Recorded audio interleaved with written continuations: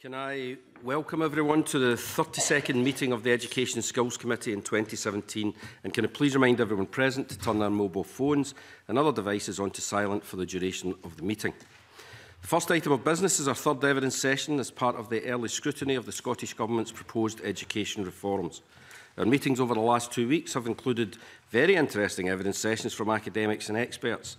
Today we're hearing from Education Scotland. The primary focus of this session will be the proposed change to its roles under the proposed reforms.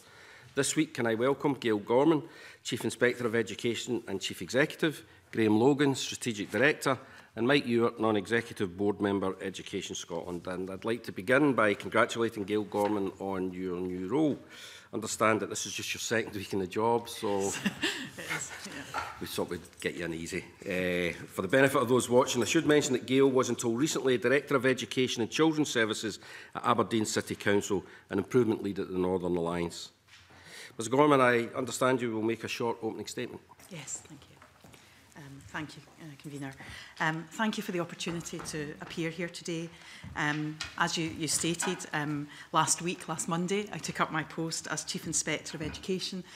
and Chief Executive of Education Scotland.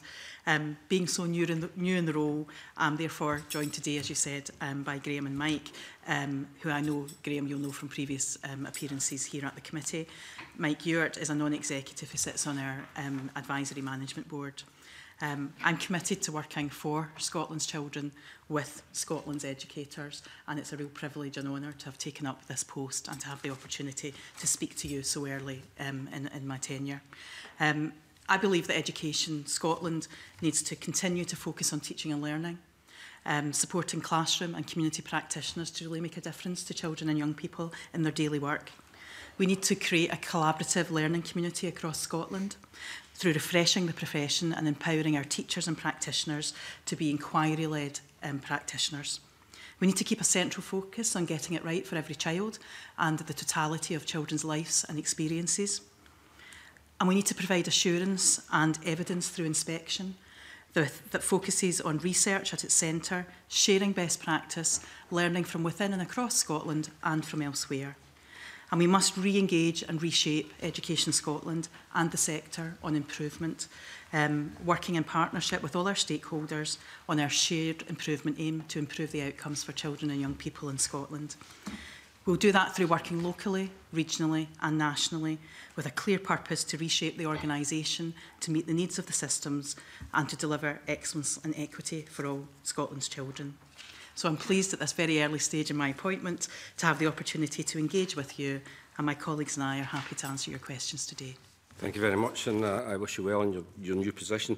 Uh, I'll begin the questions before inviting contributions from other members. Can you explain where curriculum support will sit once the Regional Improvement Collaboratives become fully operational? Thank you. Um, so re regional collaborations will work in partnership with Education Scotland and with local authorities, of which they are consistent members. And curriculum support will be led through the regional improvement collaborative plans, um, whether that be literacy, numeracy, health and wellbeing, the eight core areas that will be supported by colleagues from Education Scotland, who, once the plans are, are scoped and, and fully written, that work is underway. We will then align our resources to meet the requests and needs of each local regional collaborative. Now, that not, won't be one size fits all because every region is very different and the needs will be very different. But we'll bring together in a collective, collaborative leadership piece the strengths of each region locally and then also bring to that the national agenda and the national team to add to that and extrapolate and then share that practice about the curriculum through that model. Is, is anybody else got a comment to make there? No? no? Okay, thank you. The, so from what you're saying then, it's, you don't perceive it as being a, a top-down Education Scotland are saying it's going to be the regional collaboratives come up with their plan and your role will be to facilitate that? I think it's got to be a combination of both. If we want a school-led, teacher-led system,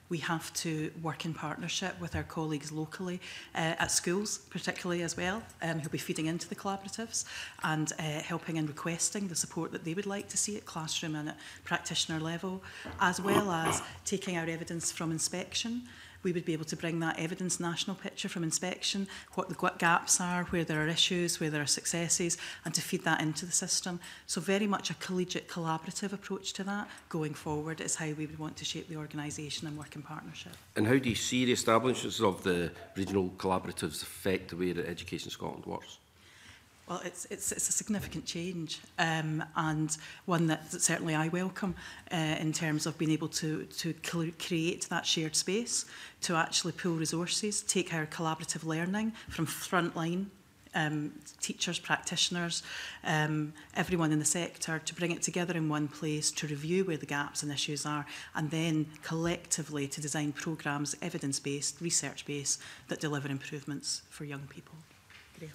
Yes, just uh, to add to that, convener, good morning, everyone. Uh, we've started to transform the way we do our business planning to, to accommodate that. So at the moment, we do nine national programs, and we're scaling that right back um, to, to, to streamline our national offer so that the, the bulk of our work, bulk of our staff can contribute to the regional improvement plans. So in other words, rather than us developing these nine big programs, we will match staff expertise in a responsive way to the needs in the, the regional collaborative. So that is quite a dramatic change in how we both plan and deliver our work. So the whole delivery model of the organisation needs to change. The days of sort of staff sitting at the centre, producing things, putting them on our website are, are over. Uh, we will produce the guidance that's needed, but that will be kept very streamlined and staff will be out working with our partners and local authorities and schools in the regional collaboratives.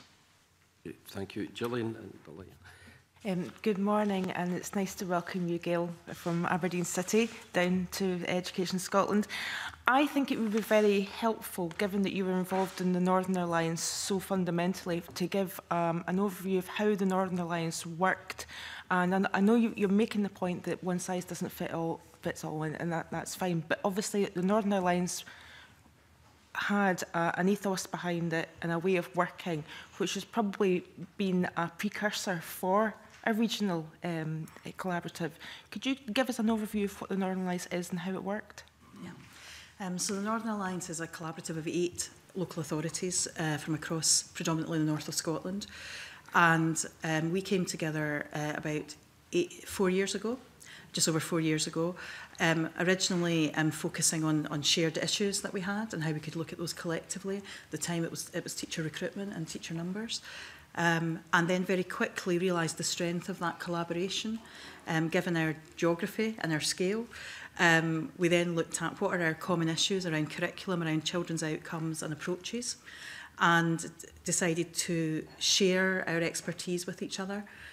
Um, we're all very different sizes. Highland's a very large authority, for instance. Um, Shetland's a relatively small authority, Murray, scale and size. So perhaps we had one resource in one local authority that maybe we couldn't match in another. And we decided to become that collective, collaborative community of learners and share that expertise in doing that, we formed relationships. We um,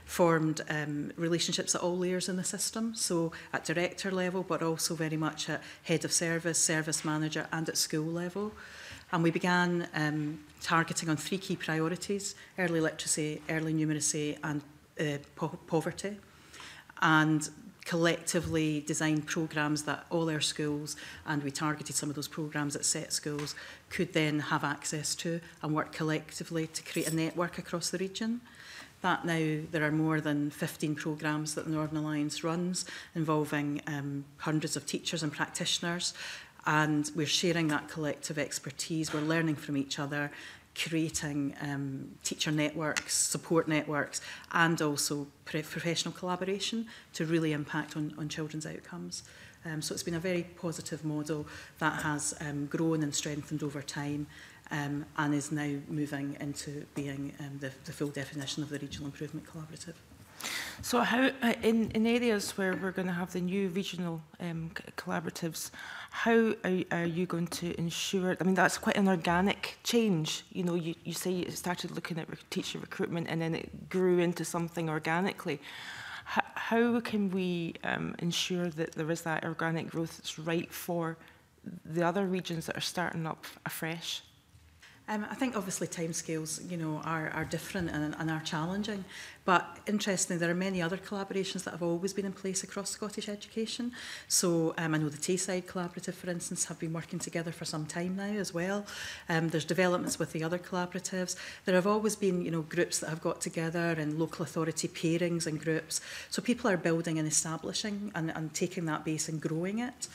Um, we certainly um, will be supporting and, and even in the last eight days, Graham and I have been involved in talking to some of our other um, uh, regional Improvement Collaborative leads um, and supporting them in, in developing a plan, working on an iterative process with them because they'll be able to scale up their activities over time, but very much focusing on the core agenda that we all have in terms of, of proving, improving attainment for young people. What do you think the regional collaboratives are going to mean for a teacher on the ground? Well, I hope it means um, more equity of access to professional learning and development. Um, as I said, you know, one of the issues is sometimes scale, size and resource. So being able to look at that across a region will allow us and teachers to have access to that kind of consistency of approach, resource and Uh, opportunity for learning.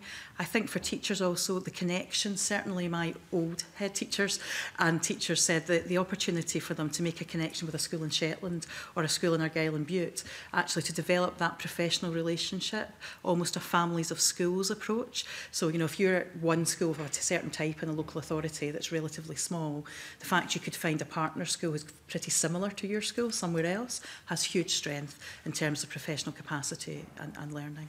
Graham. Yeah, thanks, Gail. I think also we have there's an agreement between the Scottish Government and COSLA and partners on the, the core functions of, of the collaboratives.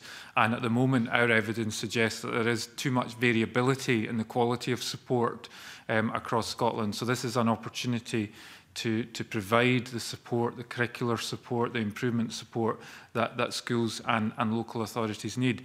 But as Gail said in our discussion with regional leaders, we've been very clear that as the planning process develops, it needs to, the, the offer to schools has to be very, very clear and very practical. And as the plans develop, taking the example of the, the Northern Alliance, then we, we hope to make sure that head teachers and teachers are very clear on what this means to them and who they can contact for particular types of support at a regional level. And just my final question in this, how are you going to monitor the progress of the, the new collaboratives? So um, obviously we are working with them in terms of developing the plans and so we'll be you know we have a regional liaison officer that have now been appointed to the six regional improvement collaboratives they will have a brokering and link role to work with the uh, collaboratives and to feedback information to ourselves in terms of requests for support or additional help or needs And then when the plans are submitted, there will be the formal sign-off process, but we are seeing that as a phased collaborative uh, uh, approach that we, we would be saying to local authorities, making up the collaboratives, these are the right lines, perhaps you'd like more development in this area, perhaps we could help. Other national partners as well coming to the table and adding to that, Care Inspectorate and others. Okay, thank you. Very much. Yeah, I've got a number of people who want to ask questions around this theme, so it'll be Liz, then Tavish, and then I've Got... Uh, thank you, convener. Um, Mrs Gorman, I wonder if you could um, talk to us a little bit about accountability for decision making. Um, uh, a year ago when uh, Education Scotland were before this committee, when the curriculum for excellence was very much the centre of discussions, um, I think we were finding it a little difficult to know who was responsible for key decisions in strategy. And I wonder if you could explain to us Um, I mean, the Cabinet Secretary is very clear that he has overall uh, command of that, but where everybody else fits in, if there is to be a newly reformed Education Scotland, where the lines of accountability are, and particularly in relation to the collaboratives that you've just spoken about, um, at a time where we are devolving more power to head teachers, could you explain where the lines of accountability are for uh, decision making in education? Um, I'll, I'll make a, a start and then uh, uh, colleagues will, will join in in terms of some of the nuances of Education Scotland. So policy, as, as you are well, well aware, um, sits with um, the Cabinet Secretary and, and with government. And Education Scotland is very much there to look at implementation, support, curricular support, guidance for schools and other um, areas of the sector around the best way to implement um, curriculum for excellence, the best way to improve outcomes, and to really focus on the impactful delivery of good quality teaching and learning. Graham. Thanks, thanks, Gail. Um, just to follow that up, obviously we are at a period of change in, in governance, uh, Ms Smith, and the new Scottish Education Council has met for the first time, of which we are a member, and is developing its own remit and role as, advi as an advisory uh, council to, to ministers. And obviously there's other groups as well, the Curriculum and Assessment Board at the first meeting last week started to discuss how the board wants to oversee the curriculum and, and their own remit. So I think we'll see those, those roles and remit uh, firmed up. Um, and and uh, at the moment, as we know, the statutory duty for improvement does sit with both ministers and local authorities. Um, and at Education Scotland, we're in the process of developing a new corporate plan, which will shortly come out for consultation and will set out very clearly uh, the outcomes and the, the, the areas that Education Scotland is responsible to uh, for, and we want to make that as clear as possible so that members and the public um, can see what Education Scotland's about, what our purpose is, and the outcomes that we are responsible for uh, delivering over, over the next year. Can, can I just probe a bit further on that? Um, the Cabinet Secretary is very keen indeed about greater autonomy for head teachers, policy I support very much. Um, But obviously, that means that uh, there will be less power in uh, the hands of local authorities in the way that they have just now.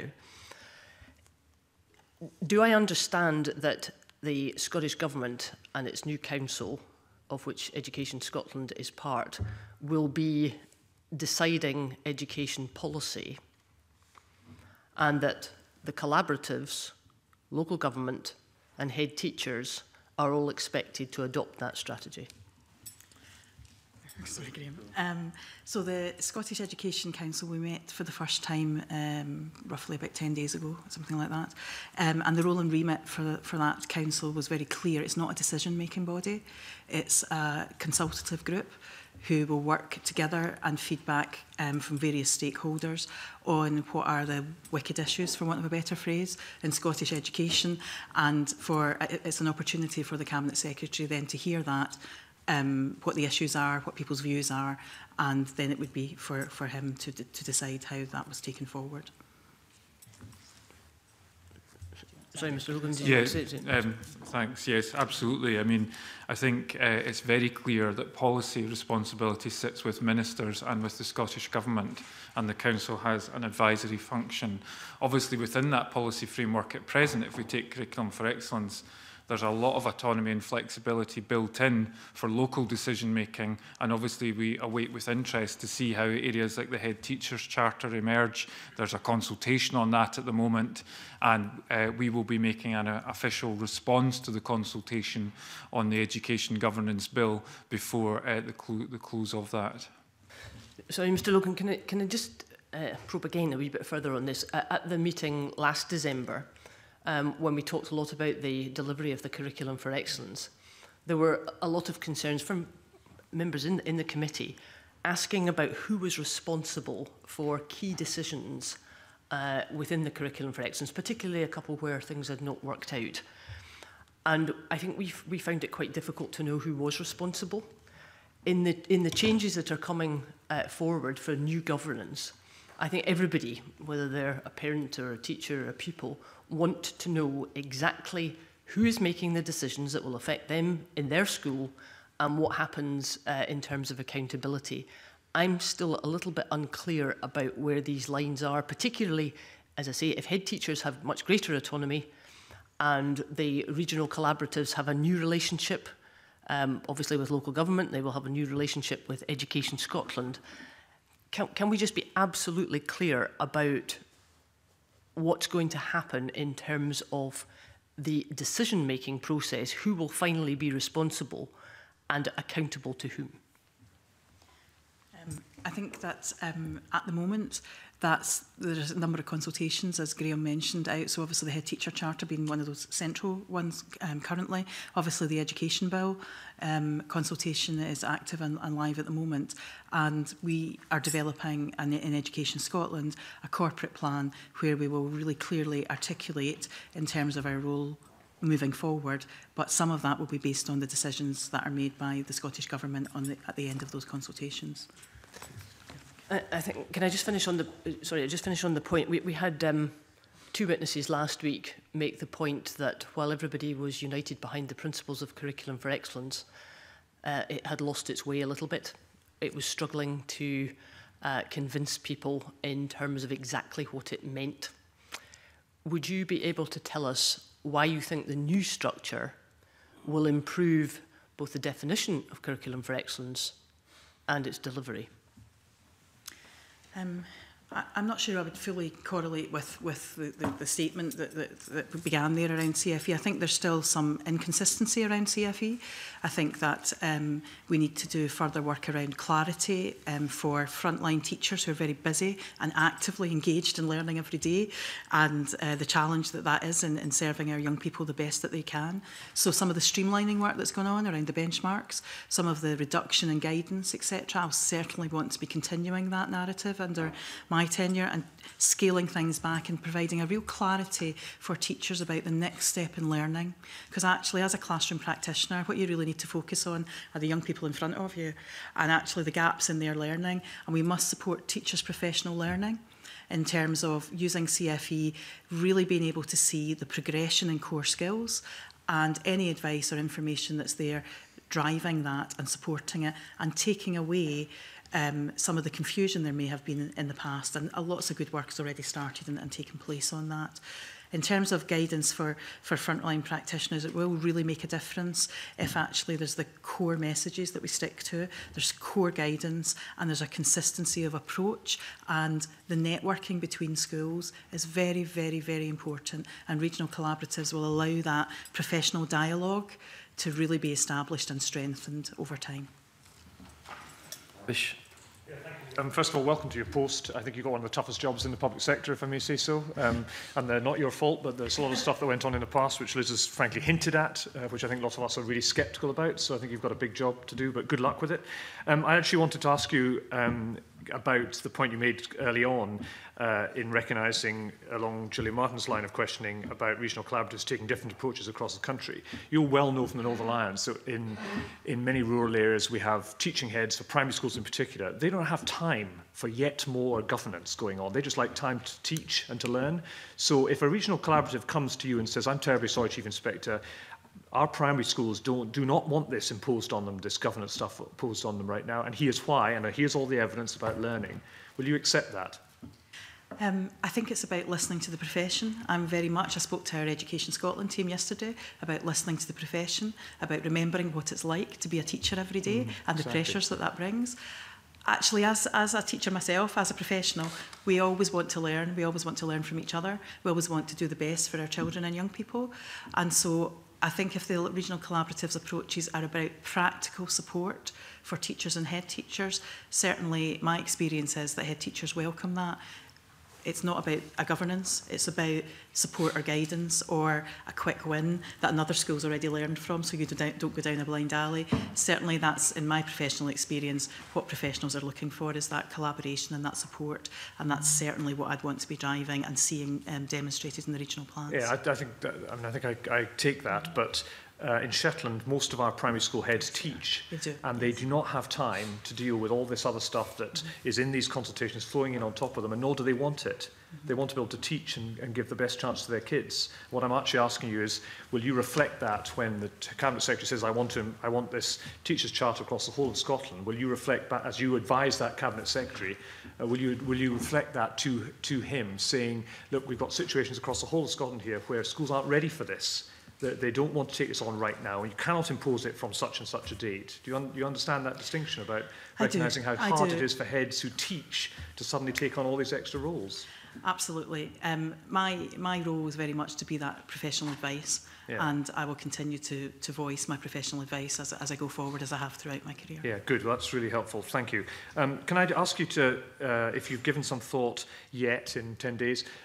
um, to the split between primaries and secondaries um, and how these governance proposals will could potentially impact on them?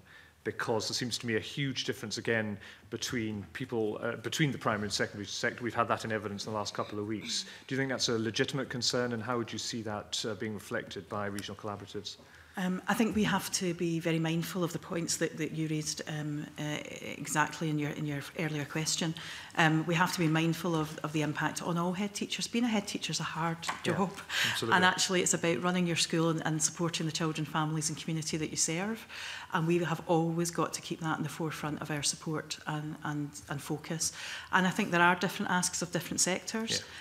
and that's okay. That reflects the uniqueness of each sector, including early years and childcare as well. Yeah. So we would want to see that represented in the scale and approach of each um, regional collaborative. Yeah, absolutely. And I think the, the sentiment of the, the head teachers charter about empowering head teachers to be leaders of learning is the right one. And as it develops, we need to make sure that it becomes a mandate for head teachers to do the job that they want to do. And as you say, Mr. Scott, I mean, I was in Shetland a few weeks ago. There's unique challenges in different parts of the country. And we have to make sure that um, all schools have the support they need And if the regional collaboratives deliver, then we will know that head teachers, if they want support with literacy, they'll know who to go to uh, at a local or regional level, so it will improve uh, the current level of variability. In terms of the primary and secondary sector, I think that there are split views because some secondary schools have already more support because they might have a business manager, whereas primaries uh, not necessarily the case. So I think we do need to continue the dialogue with the profession and make sure that these changes enable them to do the job that they all want to do as best they possibly can. Mm -hmm. A um, couple of final questions, if I can, Kavino. Uh, you mentioned earlier on about aligning resources. I think in your opening remarks you said about aligning resources to regional improvement collaboratives. What does that mean in practice? Does so, that mean people and money going to a regional collaborative to help them get the job done? It exactly means that we are looking at the deployment of um, our current central teams, many of whom are based locally and attainment advisors and, and inspectors have always worked in local contexts. But one of the, the pieces of work um, going forward now is looking at when the regional collaborative plans are, are scoped up a little bit more, what's their ask of us? What do they say their gaps are? and how can we realign the majority of our curriculum teams in front to support that local delivery. That's very much the focus of the change in Education Scotland going forward. And do you think we'll end up with, I don't know, a, a group of professionals in, say, Aberdeen or wherever the Northern Alliance may be based, there'll be a row about that, no doubt, but wherever it's going to be based, who will practically be in that place and, and there'll be a budget there and they will then be responsible for, for assisting the local... I certainly think we'll have, we already have in some instances, if I use the example of the Northern Alliance, three of our core programmes, the attainment advisors from Education Scotland have been involved in those for, for over two years and are part of the steering group for those literacy numeracy and secondary mathematics programmes. They've been part of that, they've helped shape it and they're out there co-delivering. So already that's happening in practice and the attainment advisors, the majority of them are based in local authorities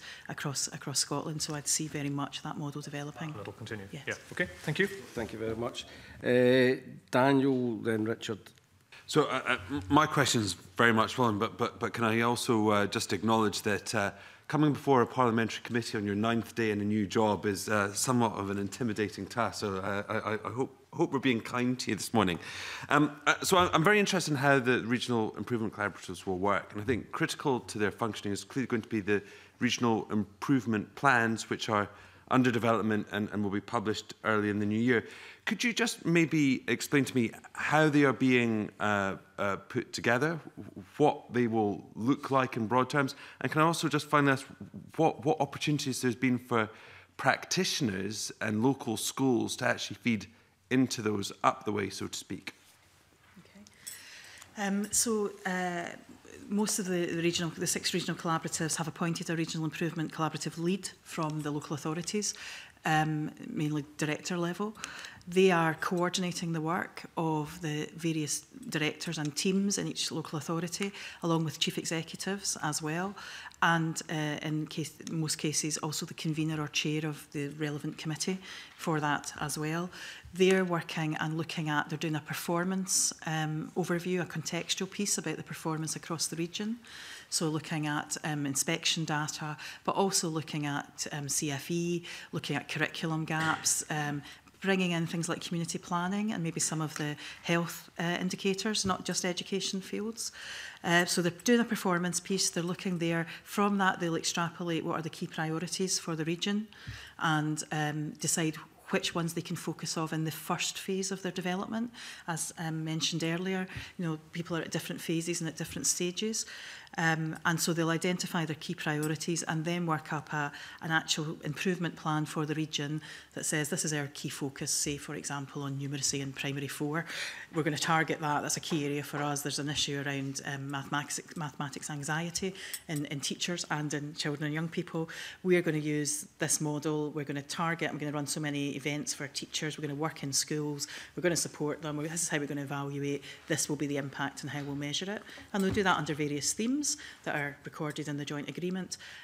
Um, they'll build evaluation into that. They'll also from that look at workforce, a workforce plan. So they'll draw from that what's the resource they need from across the region, but also what's the resource request from ourselves and Education Scotland or other agencies and, and partners, third sector and alike. As part of that, then they'll then create a plan. It will be uh, like any good school improvement plan. You know, there'll be a phase one, then there'll be a further development for the next academic year. We'll try and align it to run more academic year school improvement cycle. Um, so they'll do that. There is, we have asked for um, local authorities and for regional improvement collaboratives to very much build from bottom up but we are very conscious of the timescales involved. So um, many of them have um, spoken to head teachers, particularly. Some of them have done practitioner events. I know some of them have done um, online surveys, asking their workforce what they would like to see to move forward. But many of them will put in their plan how they're going to develop that with more strength and depth over time um, but very much trying to feed that practitioner, practitioner voice in and make sure what they're delivering is actually what schools and teachers are asking for. That, that'll be the key measure. That, that's helpful. Can I ask what will then happen with those plans? Um, so in 12 months' time, I mean, will you be having a conversation with each of the, the uh, regional improvement liaisons? Uh, will, will there be a kind of a strict uh, kind of uh, measurement against that, or is it? I mean, what? How will these be used, and, and who? Who will be kind of uh, measured against them? Will it be just the improvement liaisons, or will individual schools be measured against the original improvement plans? How will they work?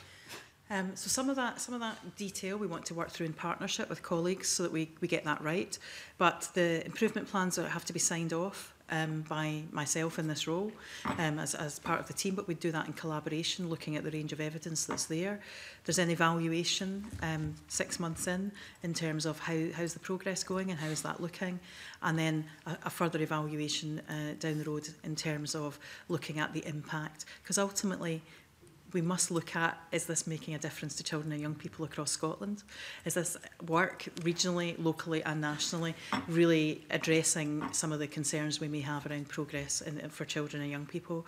So we will look at that but we will be looking at the progress against the plan, the impact that it's having, and taking a very wide looking range at the success criteria, at inspection evidence, and also what, what teachers and practitioners are saying has been the impact of, of that work. So, so just with a view to the questions around the accountability and trying to get an understanding of who's accountable to whom for what, if a region fails to meet the, the targets it sets out in its regional improvement plan, who will be holding who to task and, and, and, and, and, and uh, what will be the, the consequences? I mean, will you, I mean, essentially, will, will you be firing uh, regional improvement uh, uh, liaisons or will, they, you know, will, they, will, will the schools be holding them? To, I mean, what, what's the direction of accountability here? So the, the accountability, the regional improvement leads are employed by the council that they're working with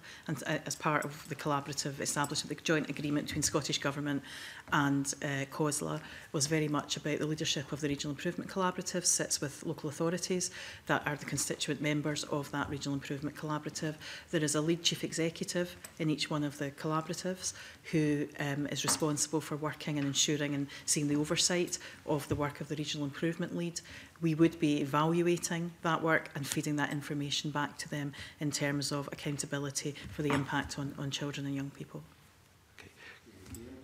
Man. Yes, no. Just to uh, follow on um, from that and Mr. Johnston's point about planning, I think the, we've seen a significant impact from the National Improvement Framework in that school improvement plans and local plans are now aligned to the drivers and the priorities. So that's almost the golden thread that we now have in education improvement planning in Scotland.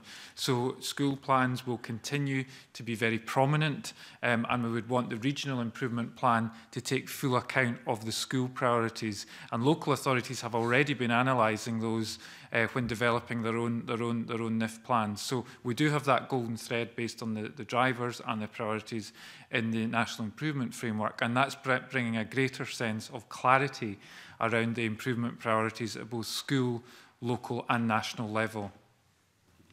Yes, one last, one last question, which is you, you talked about um, Education Scotland staff being deployed to the regional improvement collaboratives. Will they be formally seconded and will those Education Scotland staff be formally uh, accountable and, and answering to uh, the, the regional uh, liaisons? Is that, is that going to be the formal structure or could you explain how that's going to work? Um, no, we, we wouldn't see that as, as the formal structure. They would still be employed and working with Education Scotland. However, the narrative is about a partnership approach, and so the, the regional collaboratives would be brokering and asking for that support from Education Scotland where they felt they, they wanted it we would be responding to that and then we'd be working in partnership and alongside. On a day-to-day -day basis, they would be working with and through the regional improvement collaboratives but also feeding back information to, to Education Scotland around learning we could share with other collaboratives or national pictures that were emerging to help us drive some of the national messaging as well. So in effect, they'd have dual lines of accountability? It, it would almost be like a matrix management model, yeah. Thank you. Uh, Richard. Thank you, and firstly, Uh, congratulations to Miss Gorman on your new uh, position and best wishes for the future. it's good to have someone from the North East taking such a, a prominent position. And as a member of the Northern Alliance, and I'm not talking about this character in the new Star Wars movie, but the Northern Alliance as in uh, the education collaboration in, in uh, our part of the world, because obviously I represent Murray and uh, they're one of the local authorities involved. I'm keen to explore with you um, your vision for how that will develop. I know other members have touched upon that, but one issue that occurs to me, looking at some of the unique, are, some, are, some are unique and some are general, of the challenges facing Murray at the moment. Uh, and there's clearly an issue over uh, a shortage of teachers. And there's additional pressures facing many of our schools locally. And I understand from teachers locally there's only three quality improvement officers now working for the Murray Council to support the, the, the schools from that, that, that central perspective. And I also understand from teachers it used to be more than double that just a few years ago. So the advice and support they're getting is limited compared to previous times. And I'm just trying to understand if your vision for the regional collaboration is you could help plug that gap. And then that begs the question in the longer term, should this regional collaboration approach just take over the role of the quality improvement officer so there's equal support across the regional, regional areas? Okay. Uh, yeah, I do know Murray very well and I um, have had the privilege of being in many Murray schools and working with uh, a number of your teachers. Um, one of the things that, if I use the example of the Northern Alliance, as where um, you're referring to, is that the QIOs um, are actually all working collectively together. So um,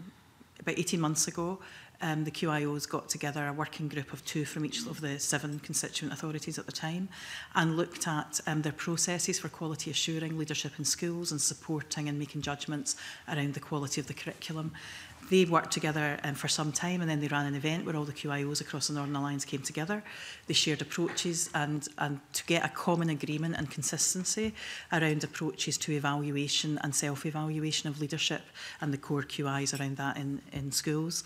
Um, They then have then developed that further and are doing some elements of joint value. Um, uh, I'm trying not to use jargon here, sorry. Uh, some uh, self-evaluation work in schools, and uh, they're working collectively. Um, you know, three different QIOs coming together and going and doing a joint VSE in a, another authority or supporting another authority around that. So that embryonic work has has already been been taking place to do that. It also brings um, a great deal of professional learning across those teams as well in terms of there's you know some fantastic work maybe happening here in one area there's some great work here we bring that together actually we are be able to share that with more schools more quickly so that development of, of the, Q, the quality improvement officers coming together learning from each other and helping support schools with I, absolutely the challenges that many of them face um, is already underway and I know that the other regional improvement um, collaboratives are looking at developing similar approaches. So it should provide some of that, that surety in the system and that capacity across a region that is difficult in, in the range of authorities that we have across Scotland.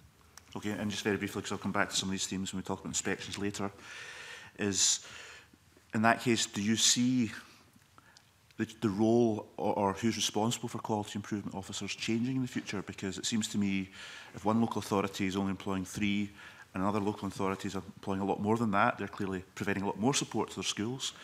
And you know, when you look at the inspection reports you get from many schools, what you'll get back is, oh, we don't have a lot of quality improvement officers anymore to help those schools, so therefore it's an issue. So I'm just wondering, you know,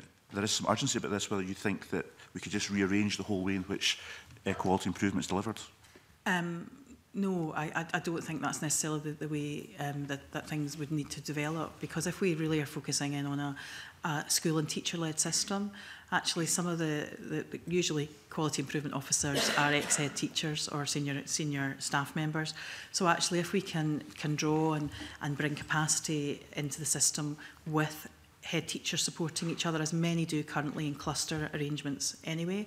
But if we can build and strengthen that and create that network of professionals who are working across and within their own school, but outside that, actually it will help with some of that capacity. And there is the fact that, that there will be local authority targeted work that QIOs will be doing in their own authority that would continue um, as things go forward.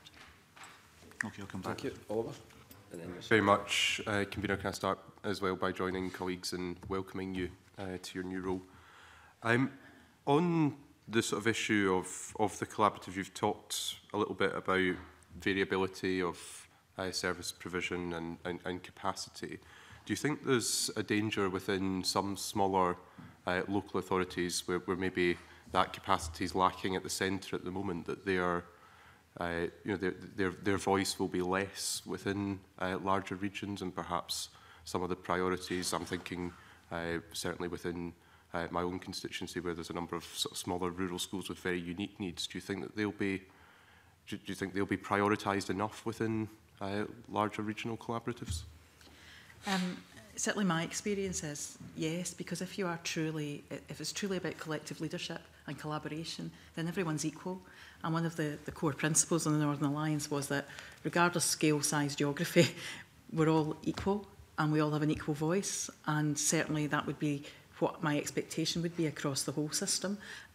and layers of the system that actually the issues in a, a one teacher primary school that's got a part-time teaching head is actually just as viable as, as a 1400 place secondary school and many of the issues there because we're all part of the profession and if we create the collective learning community we're all respectful of that and that, that's fundamentally has to be many of our schools in Scotland are small and rural and we mustn't we mustn't forget that and you're confident that when it comes to setting the priorities for improvement that, that improvement for those smaller schools will be will be given that parity it's certainly something I would be looking for.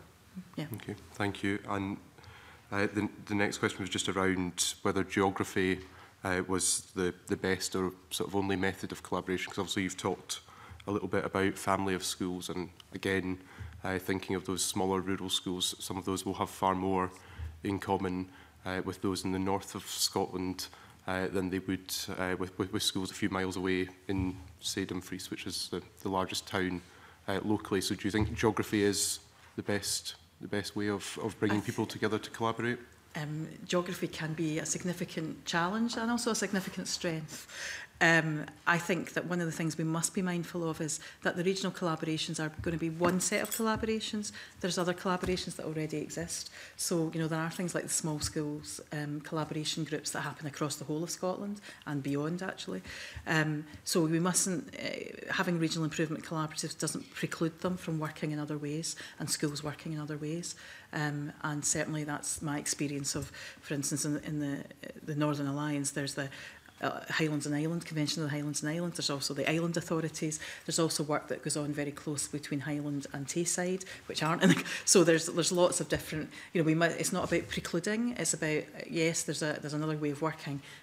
but actually the strength of Scotland and its size and scale is actually those opportunities that we shouldn't close down in any shape or form.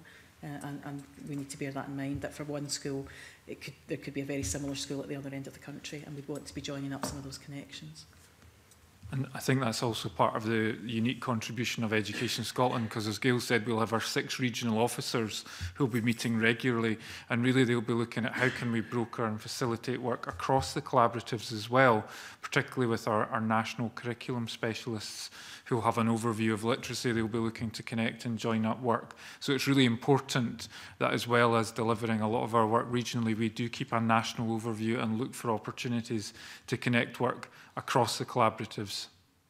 Thank you. And final question uh, for now, and hopefully I can come back in uh, later, uh, was, was just around uh, learning centres. Obviously, we've heard there's a distinction between uh, primary schools and secondary schools in, in a lot of the evidence. Uh, I've had a couple of teachers in the last few weeks flag up the sort of issue of, of, of, of learning centres in that uh, it, for, for some, uh, particularly primary school head teachers, uh, managing the, the, the learning centre facilities at the moment takes up a considerable uh, amount of time and resource and they're getting quite a lot of support actually uh, from the local authority in, in, in terms of, of making sure that works well. How do you see the sort of management of, of learning centres fitting in to the, the collaborative process? I think that would be for each collaborative to, de to decide um, um, the scale and scope of that. Um, and it will be that regional collaboratives will evolve over time. So it may be, you know, they're focusing very much on, on some of the core core agenda issues around CFE, around DYW, ar around um, the core curriculum. And it may be that over time they then begin to look at support and networks around that particular area. And where do you see the, the role of the local authority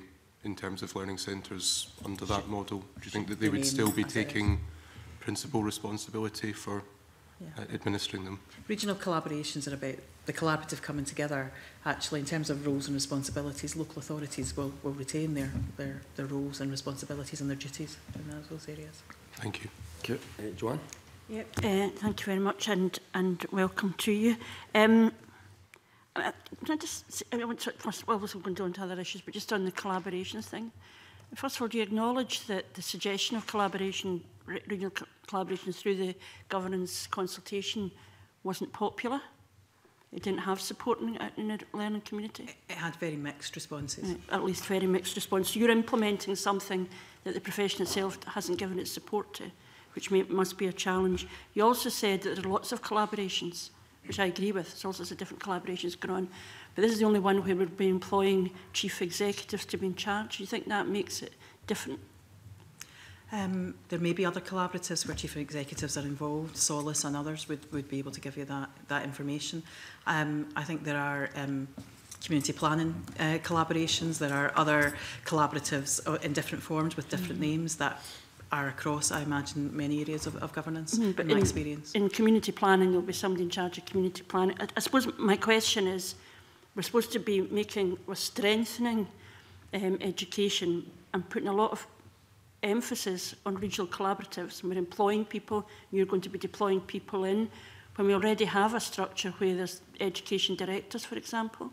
And you said earlier it was a matrix management model. I don't know what that means, but I'm interested in where accountability lies. Because who is responsible within a regional area? Who is responsible for the quality of education within a local authority? and within the regional collaborative. So the, the Education Act is very clear that the duty for um, improvement and for education sits with the local authority the regional improvement collaboratives would not change that, and that's the joint agreement that so was So why are we employing reached. somebody as a chief executive to do a job?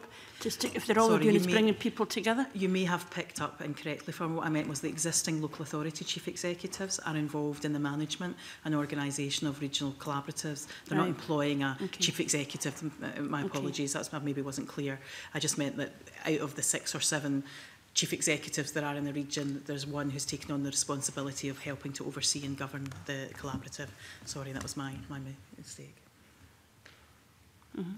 Just to, to add to that, um, Mr. Lamont, you mentioned the directors of education. There's only really two who have a sole focus on education, and that's part of the reason of collectively pulling together education support and resources so that we can actually uh, strengthen that support at regional level and with our contribution. So I think it's really important that the evidence from inspection and through our quality improvement in Scottish education report highlighted that there was too much variance in that quality improvement support across Scotland. So the purpose here is to pull together and to work together to, to share um, expertise across uh, sectors and subjects so that we actually improve that quality support in all parts of the country.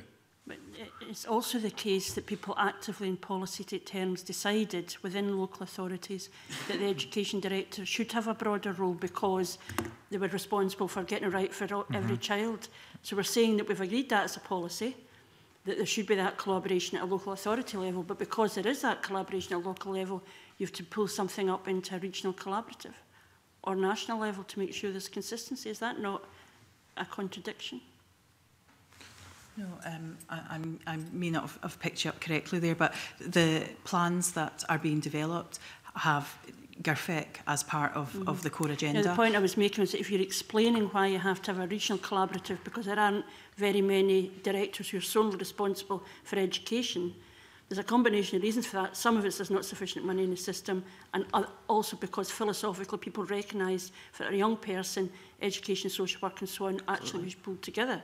-hmm. So that's not an explanation of why you would do it at a regional level. I, yeah. I don't want to speak. Yeah, thanks. I mean, you're absolutely right that we have education and children's services in some cases well, there's much broader remits, including other areas beyond education and children's services. The evidence is clear, um, and it's in the, the Quality Improvement in Scottish Education report, that we need to improve the, the variability if we are going to achieve excellence and equity. And that is one of the main pieces of evidence that underpins the need to look at regional collaboration to strengthen that support on the ground.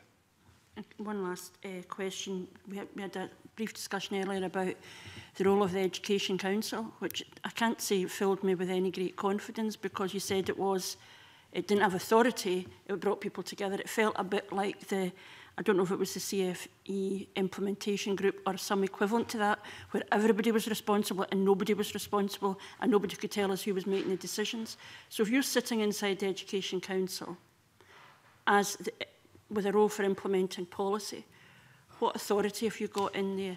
Or are we in the danger of recreating another body where everybody's there but nobody's actually taking responsibility for seeing there's an issue here or there's a concern here?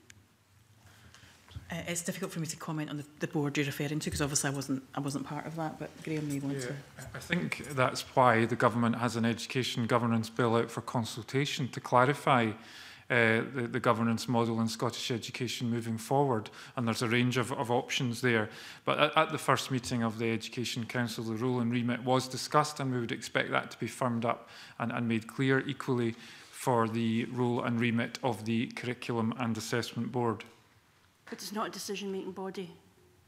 It has an advisory function. Okay. George?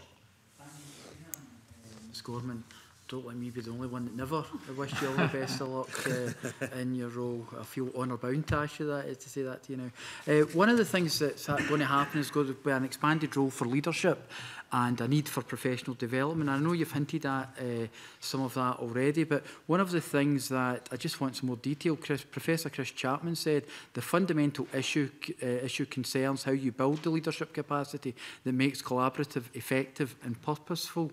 Now, I'm aware of my time as a local councillor and obviously my time in the education committee previously that leadership is the key it's uh, you know that, that head teacher in the school that's that's going to make all the difference to young people's lives uh, and basically that's the foundation stone and everything so basically it's a very simple question uh, how is Education Scotland going to do this? How are they going to have the plans to support leadership and professional development of these individuals?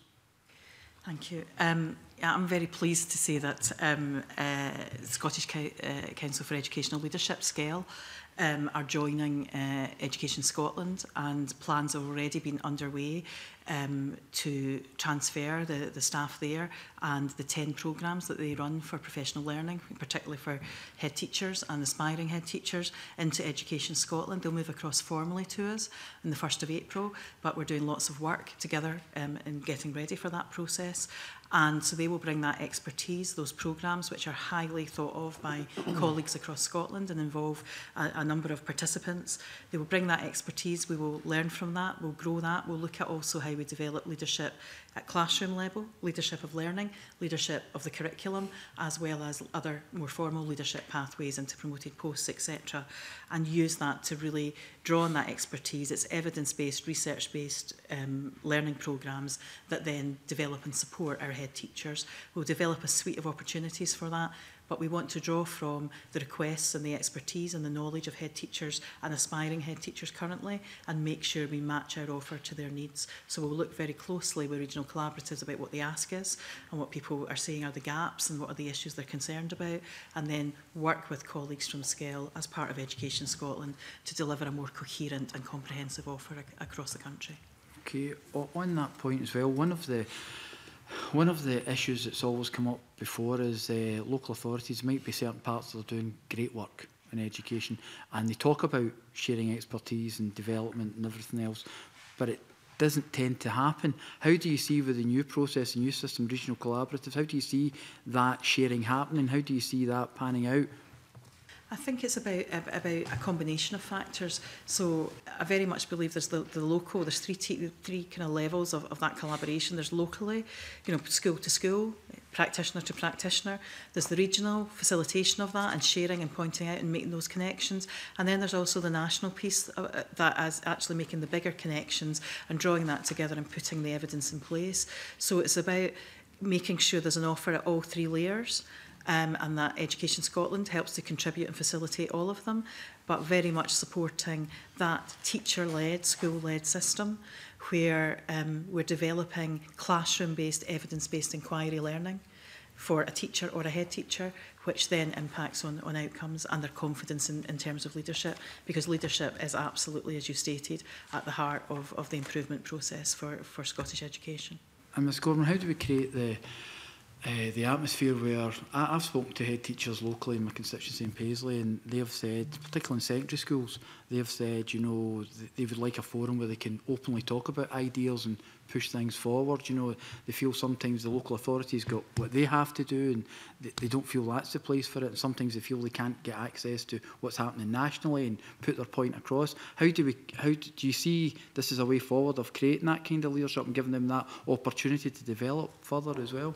very much so. It must be about, and uh, I think I said in my opening statement, about empo empowering teachers and empowering the profession to do that and to take that leadership role and to drive and to have those professional dialogues and, and to really use that to shape the responses on the curriculum and the opportunity because they know best what meets the needs of their learners in front of them every day and we must listen to that and shape the national guidance accordingly.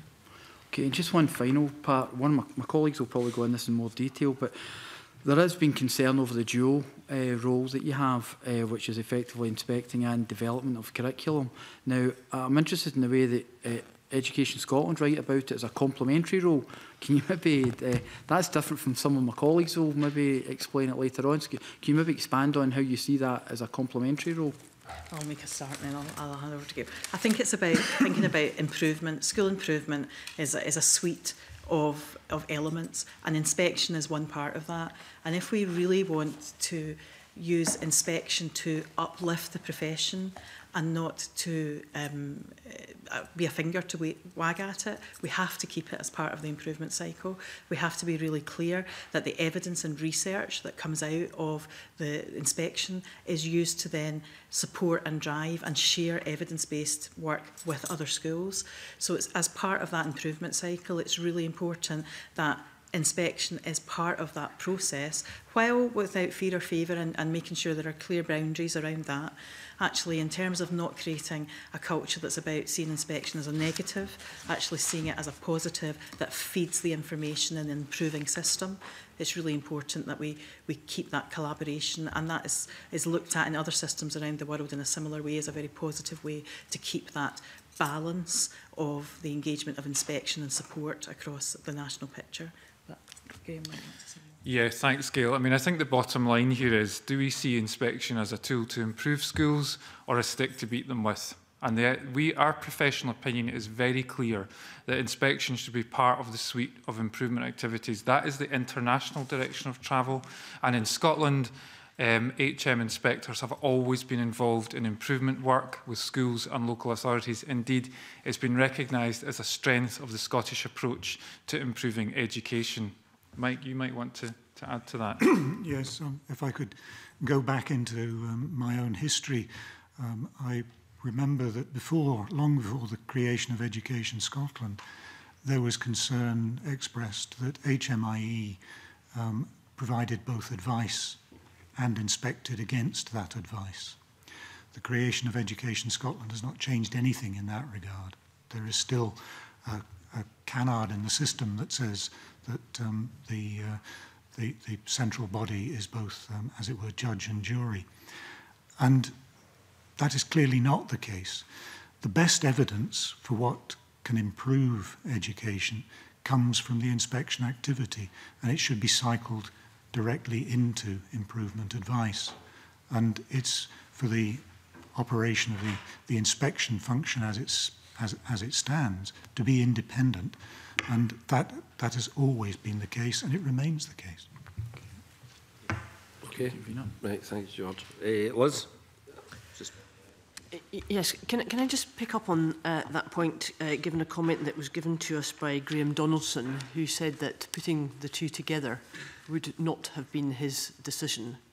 And he made that point um, based on the fact that he felt that if inspection is to work well, it ought to be entirely independent of the body that is overseeing the development of the curriculum. Do you think he's wrong? I don't think he's wrong, and I'm not entirely sure that um, I understood his remarks to be um, precisely as you've described them, as because he wanted to separate the um, the two functions. I think what he said was it wouldn't have been my choice to make the organisational change that was required. And but that, that meant that he, didn't, he wouldn't have put the two together. He was very clear about that in his comments. Mm. Yeah. Do you think he's wrong? I don't think he's wrong to say that there is a, there is a consequence of organisational change. I've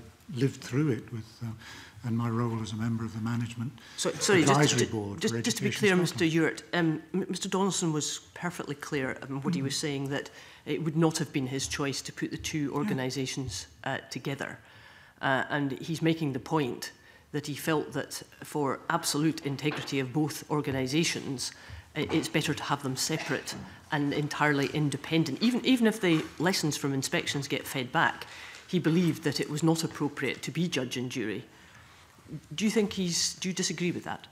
I disagree with it in the sense that even before Education Scotland was created, that was still a view in the system that the inspectorate were both judge and jury because they were the source of professional advice. Okay, thank you. Thank you. You're coming in next. Yeah, uh, just on that point, it's a question. I mean, I don't agree with the characterisation that either inspectors stick to beat the back with, or an improvement plan. There is. It could be something else. It could also be that it's establishing that the policy that's been developed is unsustainable, unworkable, unwise. And you've, um,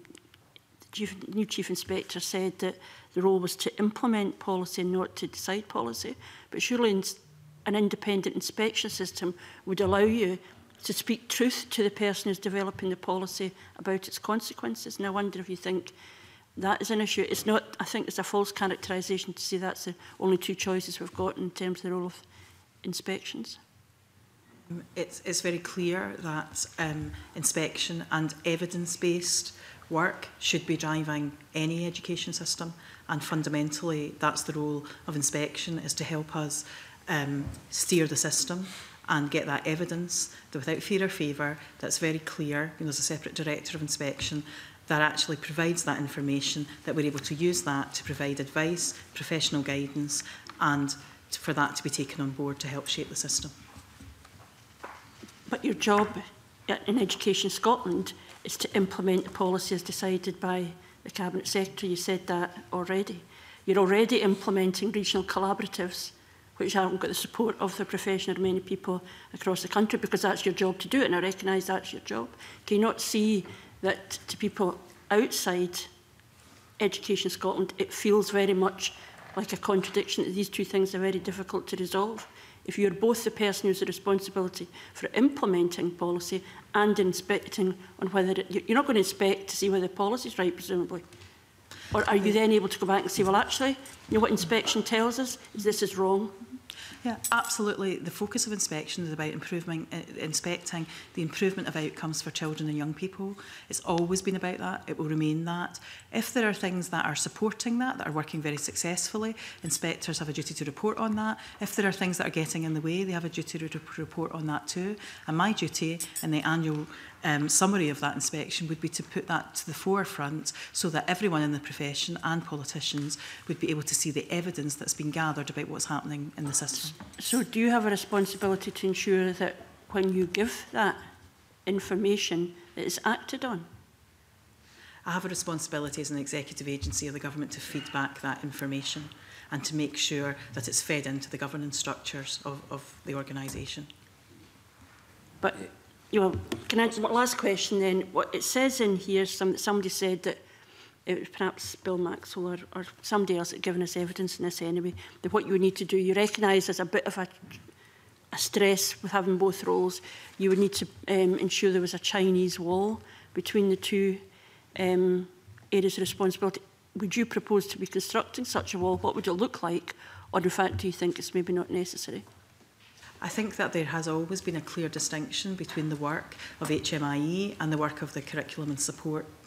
teams and divisions in the various organisations um, over time. We would continue to ensure that. There already is um, a clear distinction around some roles. There's clear distinction around where there's a conflict of interest in terms of, of inspectors individually, maybe local authorities they worked in or schools, etc. We continue to keep a close eye on that to make sure that for the credibility of inspection, we absolutely fundamentally are very clear about any conflict of interest and any perceived issues there are around some of the tensions um, mm. with that. You'd probably yeah. say a bit more. Yeah. Absolutely, and I think the Director of Inspection role uh, has a custodian and protective role for ensuring that inspection does uh, operate openly and impartially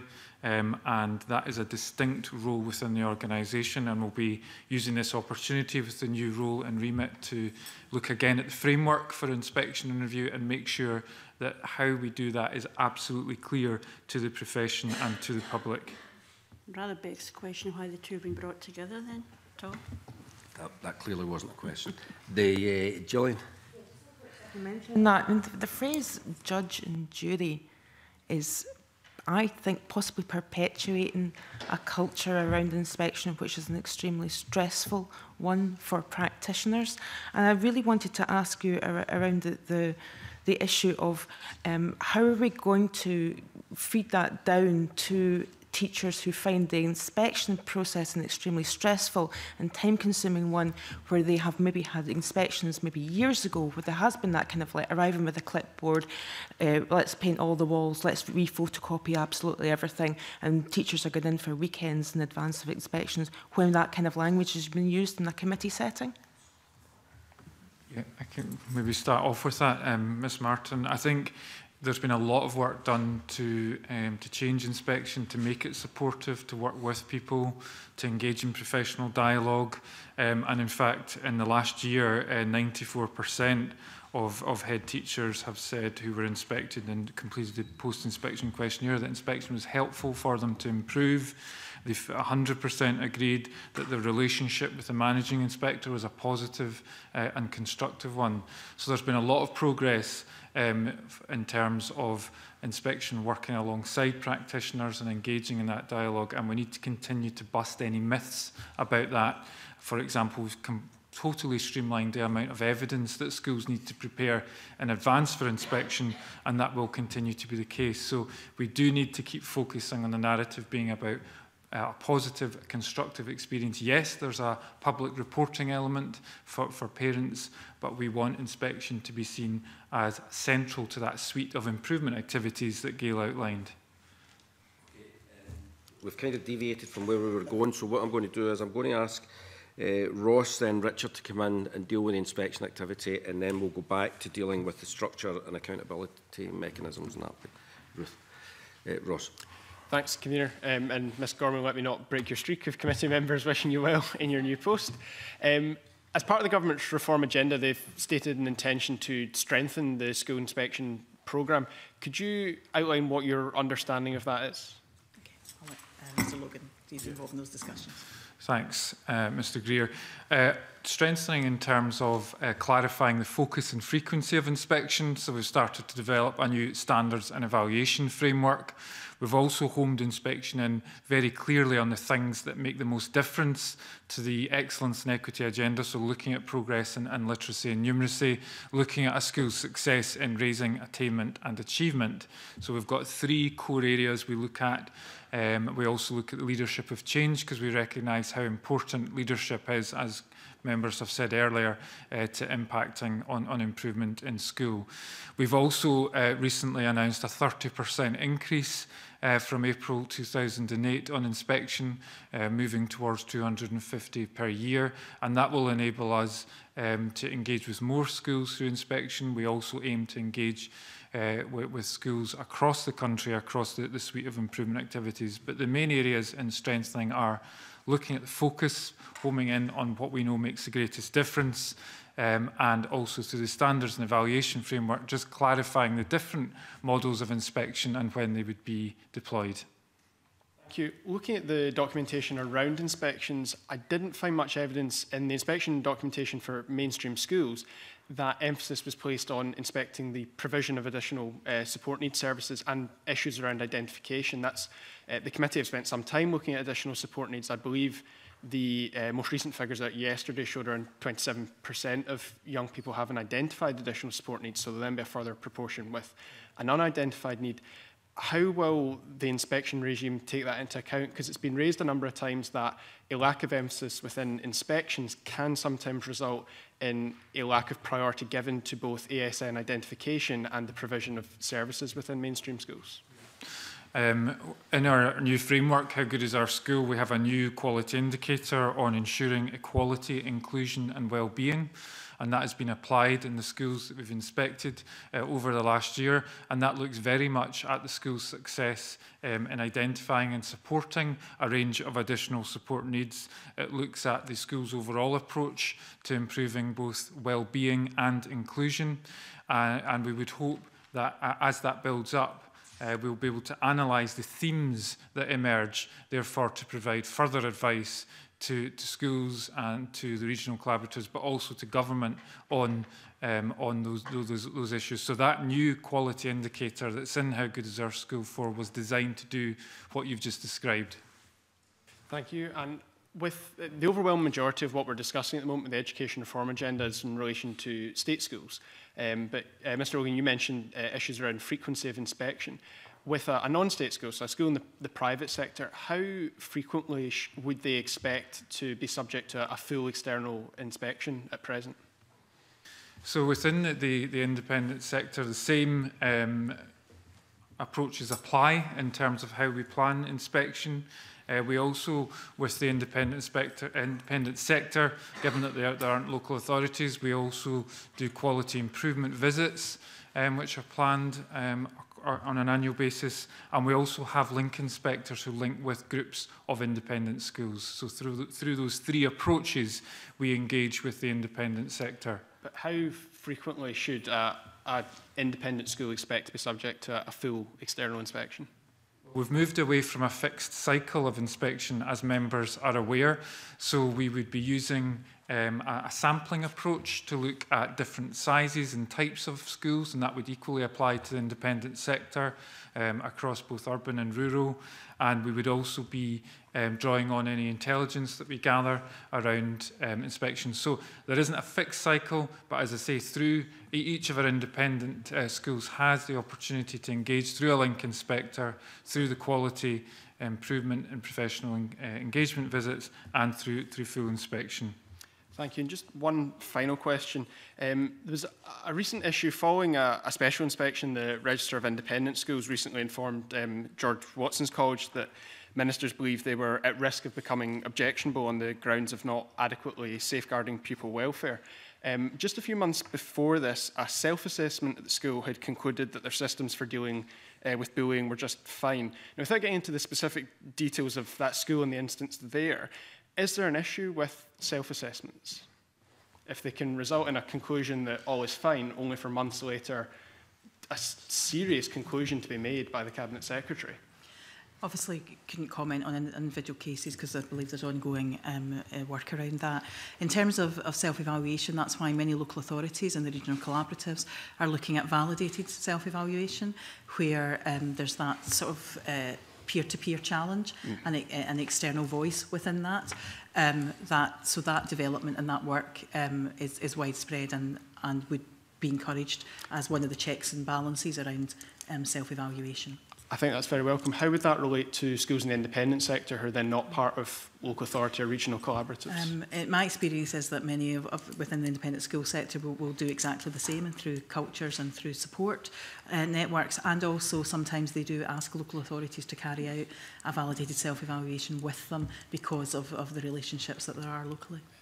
Is there an issue there that that is then left down to being culture? It's a matter of, of choice rather than mandated by a framework?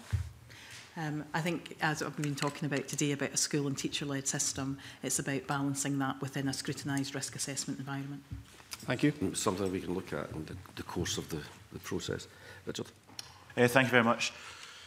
Clearly, with uh, your appointment now, there's an opportunity for a fresh look at inspections and the whole regime, and I do think there's still some room for improvement, and I do find that it's an unusual situation where professionals are subjected to inspections that most professions are not subject to.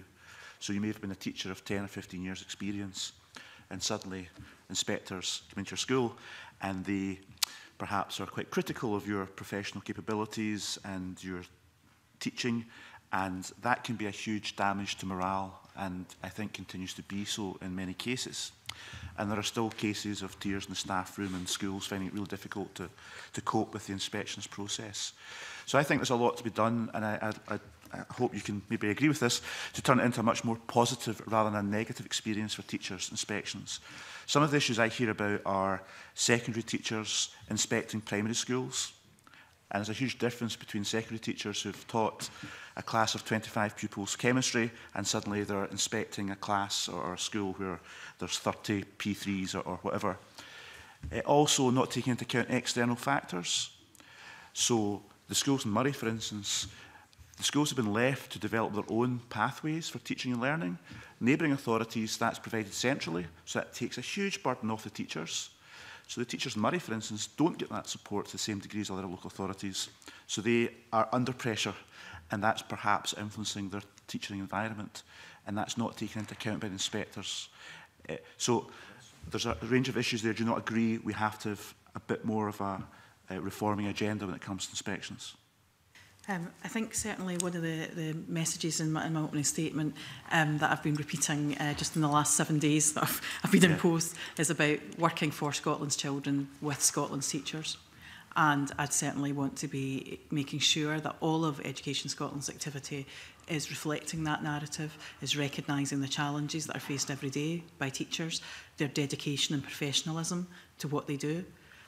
and that inspection would also be reflecting that experience back and being part of that improvement and positive feedback cycle for teachers across Scotland.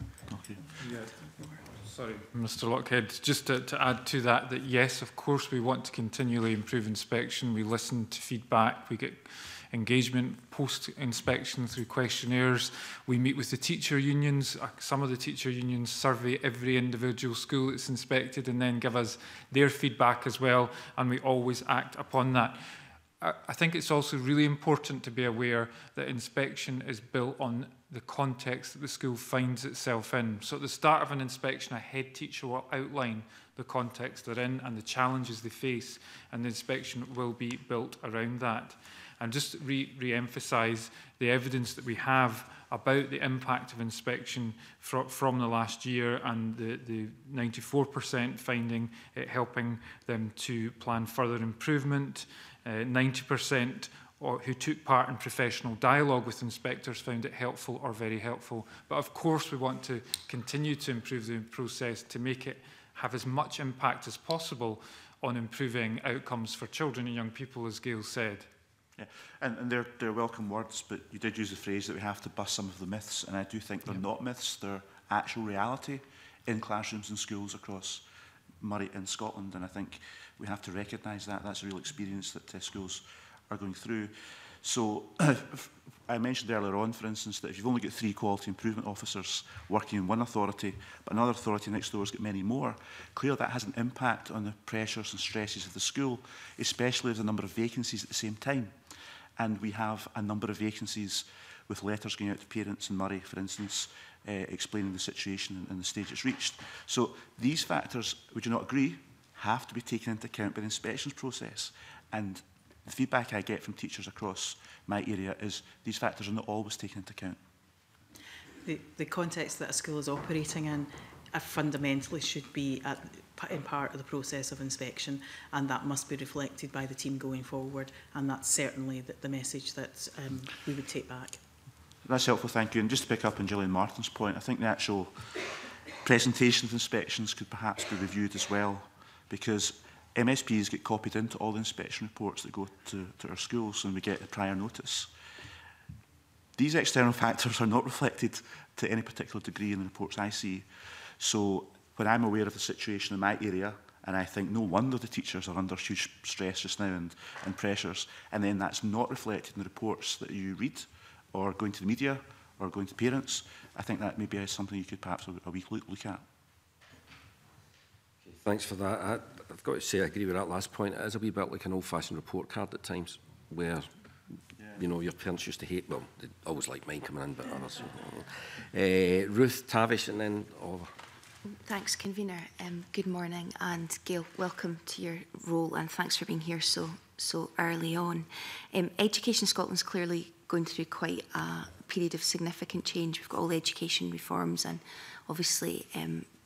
Gail Gorman's appointment. In light of this, can I ask for the panel's reflections on the 2017 UK Civil Service survey results, which would seem to suggest that there's actually very little confidence. Um, in the organisation's ability to manage change.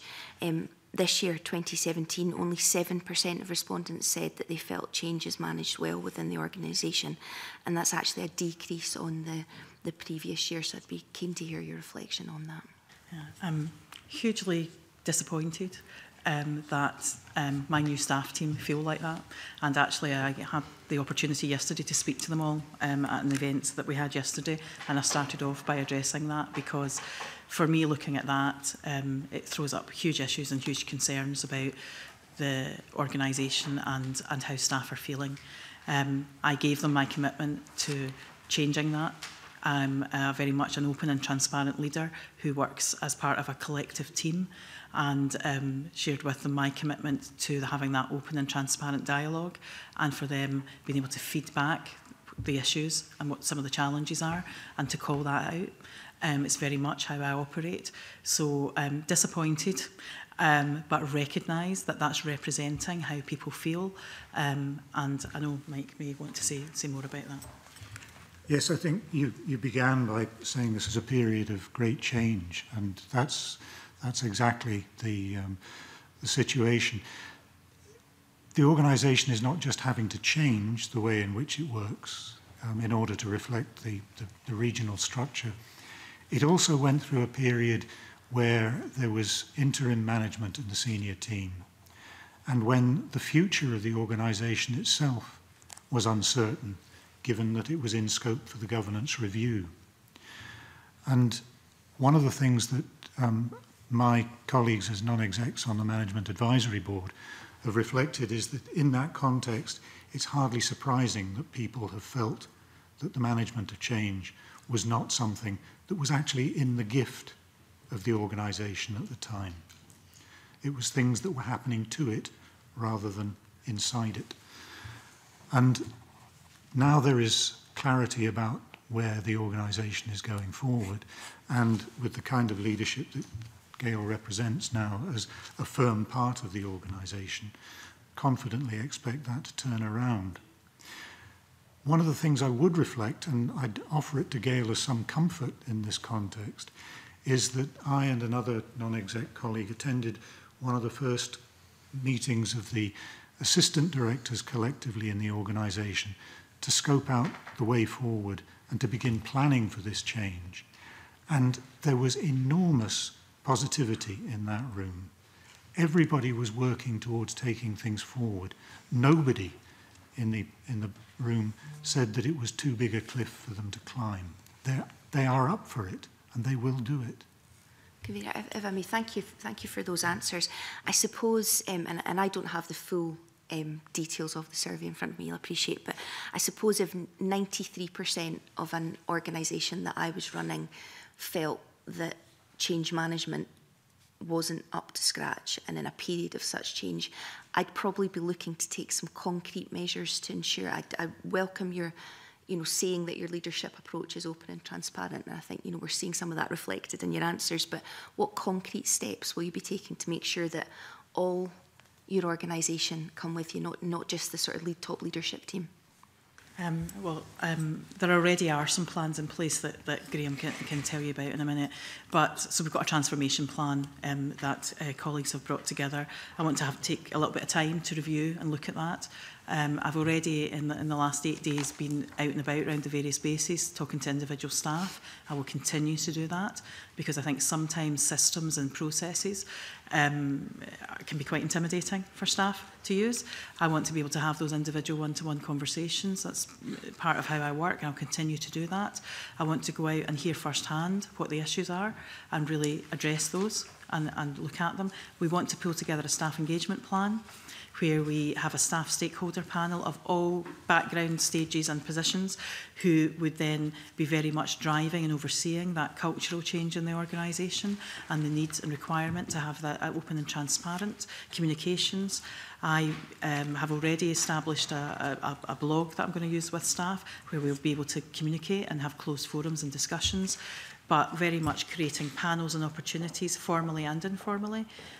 but also creating some success criteria around that.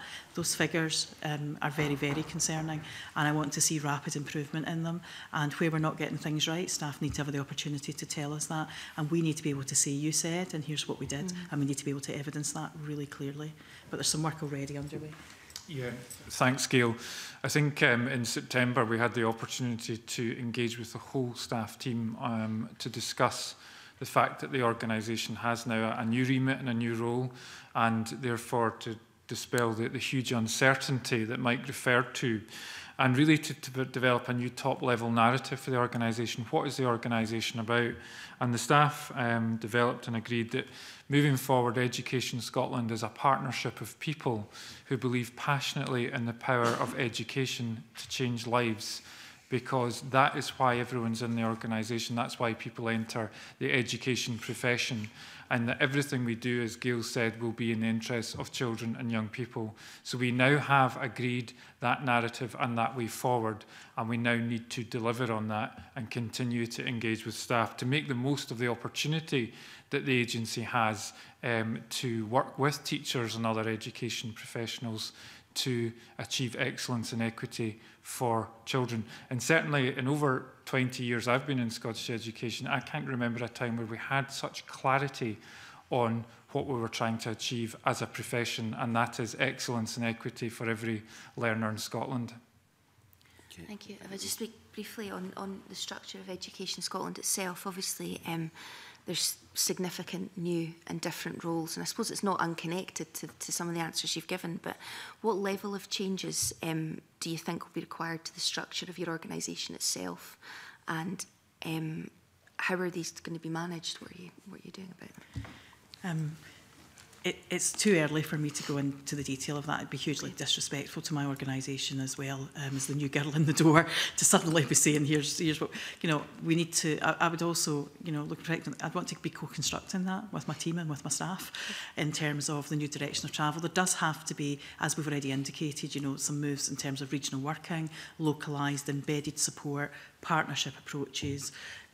to really clarify that. So that general direction of travel, but we need to look at the scale and scope of what we have. Um, I need to have some time to reflect and hear from the staff voice about whether they think some bits are working and some bits aren't. And also, importantly, to hear from the profession and from partners and stakeholders to be able to shape that, that going forward. Thank you. Dalish. Just, uh, thank you very much, Convener. Can I ask a couple of supplementaries to Ruth Maguire's questions? Um, firstly to Mike Ewart, I mean, uh, I, I take Mike Ewart's point about the, the past year in terms of change and, and transitional teams, but the staff survey that Ruth's been referring to which the, in terms of the information given to the committee goes back to 2015. At that time, 90% of the organisation of your staff didn't believe that uh, the organisation could manage change well. So it's not new, is it? No, it isn't. And the uncertainty isn't new either. But there wasn't uncertainty in 2015. There were, no. no one was proposing at that time a change to Education Scotland. No, there, was, there was uncertainty within the organisation about structures which were changing as a result of the bringing together of two organisations which had very, very different cultures, learning and teaching in, Scotland. that happened at what time? What year did that happen? That happened 2010, wasn't it? Two, 2011, I 11, think. Yeah. So Yes. Four years on, there was still going Four on. Four years on, there was, there, was, there was still the need for organisational change. Um, the, a, a, an organisation doesn't change quickly, um, and people don't change quickly. I think um, it was Audit Scotland who said that there was a minimum of two years um, for a reorganisation to take place. And That's certainly been my observation in what has happened in Education Scotland. Okay, um, and I guess you'd, you'd recognise that a lot of us are worried that how this is going to happen in the future.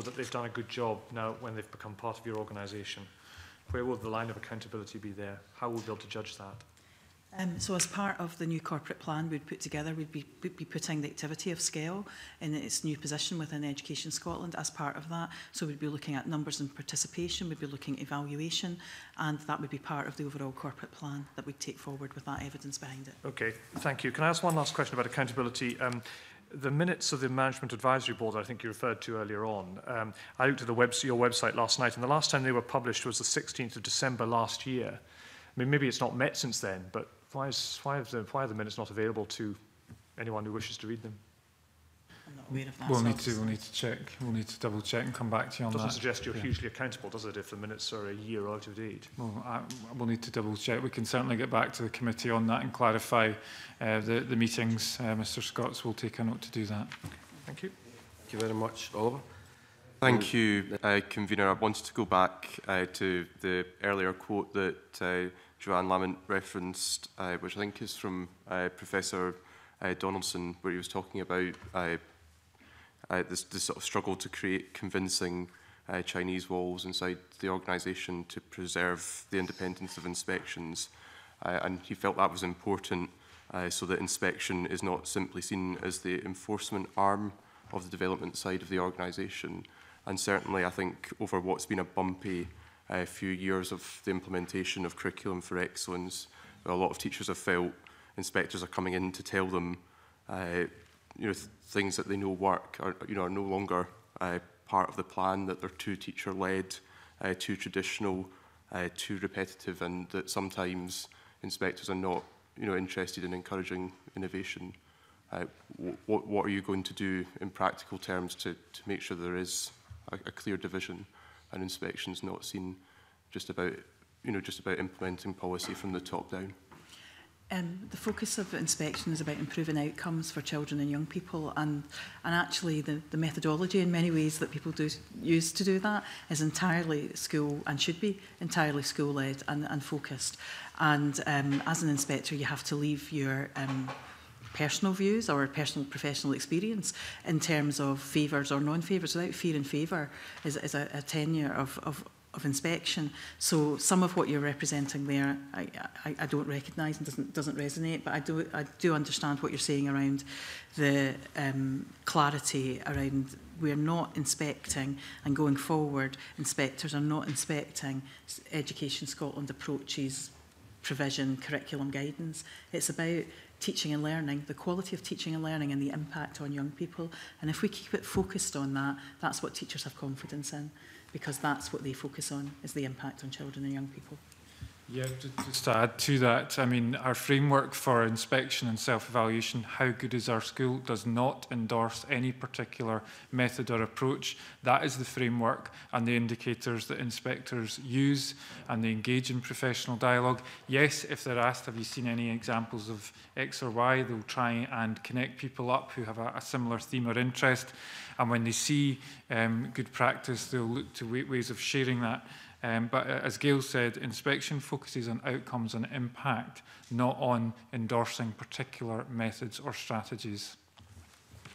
So yeah, I, I, I find it worrying then when we hear from people like uh, Frank Lennon, a former uh, head teacher who's here uh, last week, who says that your organisation uh, ought to focus a bit more on schools, uh, that Education Scotland focuses its attention on government because government is the customer. Uh, and you know, he feels that as a former head teacher, Education Scotland shouldn't be uh, interfering in innovation at school levels. Why, why would he say something like that? if, if that's not, not the experience of, of teachers?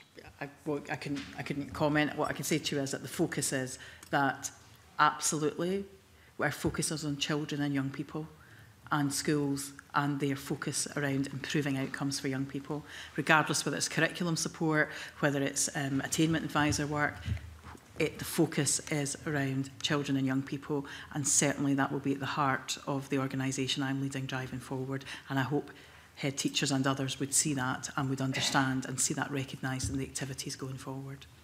Okay, well, I, I really as a, a word of caution, I mean, Frank Leonard, uh, Lennon went on to say uh, that is ahead, certainly through the implementation of Curriculum for Excellence. Uh, he didn't find education Scotland to be particularly helpful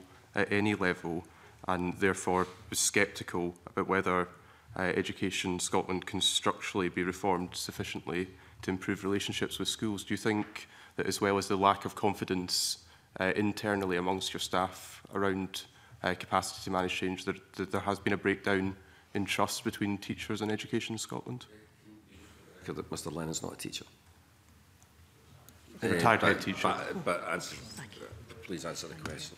Thank you. Um, I don't think there's been a fundamental breakdown of trust. I think we need to develop a narrative that's about partnership, that's about working collectively for the outcomes for Scotland's children. And that's why I'm, I'm continuing and will continue to repeat the message for Scotland's children with Scotland's educators because it's really, really important that we recognise the hard work and dedication that happens in schools up and down the country every single day. And as a, a national organisation, we have to represent that, we have to champion it, and we have to celebrate it. And that's fundamentally what we need to do going forward. Okay, and can I ask one final question? Before. Um, given uh, what you say that inspections there to, to assist and help uh, teachers, if uh, these governance review uh, governance reforms do go ahead and there are big changes, Uh, do you envisage a greater number of inspections to, to help people through that journey? Yes, uh, I think as I mentioned earlier, Mr Mundell, we have announced a 30% increase in school inspection from April uh, 2018. But what we'll also be doing is agreeing the sort of thematic inspection and review work we can do with each improvement collaborative, depending on its priorities so that we can get alongside the staff and the collaboratives, help to see what's working and uh, ensure that uh, the best progress is being made um, to support schools and to support children and young people. We'll finish with Joanne. Okay, thanks very much. Can I just say, I mean, I, I think it is helpful to hear from you what the statement and purpose of the organisation is. The only thing I would say is that our experience in the past has been a lot of clarity around what the role is, but the gap between that and how people experience it has been very, very wide. And I think that's really the issue. It's not that um, whether the, you can have an argument whether you're set up in the right way or not, but I think the profession and perhaps why just groups of people who are interested in education are a bit more concerned about the fact saying the thing and doing the thing, and as I would suggest, come from the staff as well, are quite different. Um, can I ask you just two last questions? One is on the budget. Um, in your own uh, submission, you say that you've got core budget of 21.4 million and then received 12.8 million in year transfers. My recollection from our budget scrutiny before, this was quite common, that you get a core budget and then you get other bits of money. Will you be making representations and asking for a reasonable budget that you can plan on? Because it does feel to me that it must be very, almost, I can't do the percentage of this, but if it's a 50% increase in your budget, in year? How do you plan for that? And is that something that you're um, going to be looking at? Um, any organisation would like clarity around funding on, on a long-term basis as possible. So certainly some, some clarity and, and uh, surety around long-term funding, around how that can be planned for so that in a change in an organisation we can strategically plan and cover those activities would certainly be something I think anyone in my position would be, mm. would be keen to clarify um, moving forward so that we don't have change and, and mm -hmm. further change I think as we move forward. Somewhere in our papers, I think it might be EIS said it's difficult to see where the Learning Directorate and the Scottish Government stopped and Education Scotland started. And I think that clarity around the budget would be helpful because it rather feels that the short-term bits of money coming out to you in order to fund a project, which anybody in government likes to be seen funding projects, but does make long-term planning more of a challenge. My final, final question is we also got a submission from um, the College of Scotland and they're, they're interested in what their, the role of colleges are at a regional collaborative level because obviously that, that transition for many young people is, an, is, is very critical. Um, and in fact,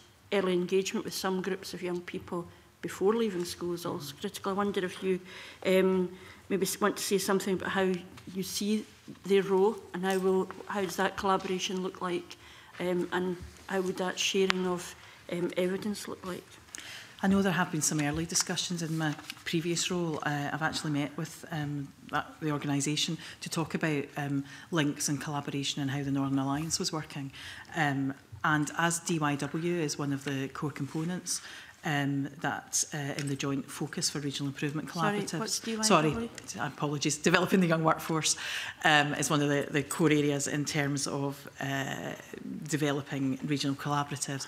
We would expect to see that those st strong links and developments in joint working coming forward. There already is some good work with colleges, particularly given curriculum offers and flexible pathways and the senior phase. There's already some, some excellent practice going on in pockets around the country and we'd want to take that and, and share that more, more widely.